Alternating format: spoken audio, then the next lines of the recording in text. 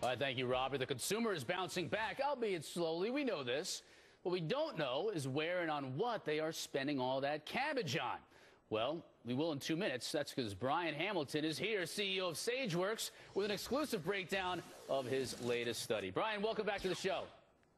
Yeah, hey, Chris, how are you today? Very well. Now, what did you find from your latest survey? Cars. Automobiles are back, and people are spending more money, which is great.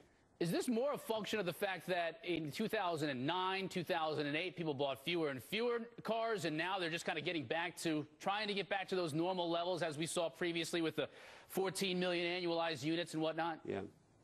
Exactly. It's a great point. In 2008 and 2009, the industry was really suffering, as you know. But people are tired of dr driving around their jalopies, so they're out buying cars now, which is great. And I think it will be a good leading indicator for the economy. You, so you expect that to continue, at least in the automotive sector, moving through 2011? I think so, yes, and it really bodes well because remember, Chris, there's a lot of tangential industries around the autos, so it should be good. Now, when you talk about used cars, though, that was for a while there. People were buying used cars. They couldn't afford to pay all that money for a new car. Right. It's a depreciable asset. As soon as you drive it off the lot, the value drops. So I'm going to buy a used car instead. Will that trend continue, or will people now start to move more toward the new cars?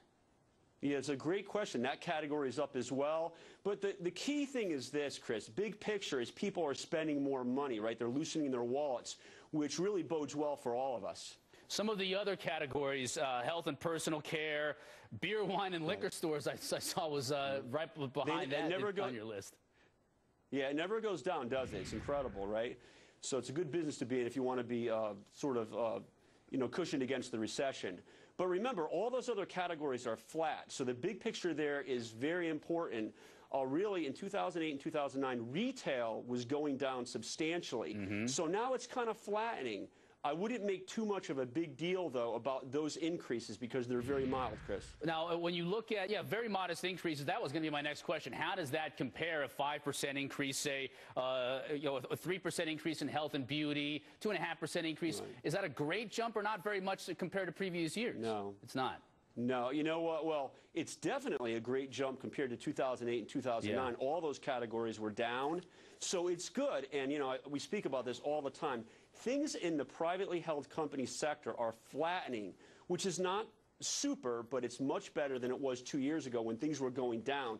2008, 5% decrease. 2009, 3% decrease. So now things are flattening, so the trend is positive. Well, this is a good point you make because at Sageworks, you guys are looking at, at more of the smaller companies. I mean, it's, it's, not, I'm not saying it's all mom and pop, but if it's privately held right. companies, a lot of them tend to be smaller as opposed to the big Fortune 500 retailers that are out there. So right. Uh, there, there are obviously differences in how the smaller companies are operating through this recovery than some of the larger players, right? right? Well, it's a great point. There's 26 million companies in the U.S., only 4,000 of which are publicly traded. So the vast amount of economic activity is generated by these smaller privately held companies. Yep. All right, Brian, thank you so much. Always good to touch base with you. We'll do it uh, in the near future. Right, thanks so much. All right, Brian.